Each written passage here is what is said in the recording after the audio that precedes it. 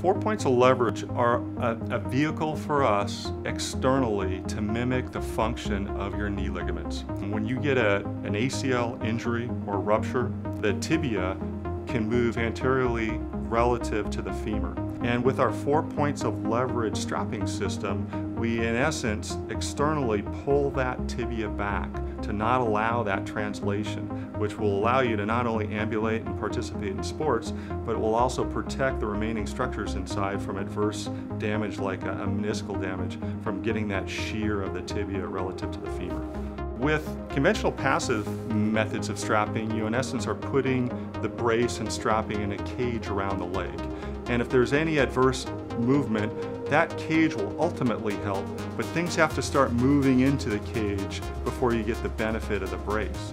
With four points of leverage, we actively load the tibia posteriorly, which is very medically beneficial. And that way, if there's any adverse motion, you already have support right from the get-go.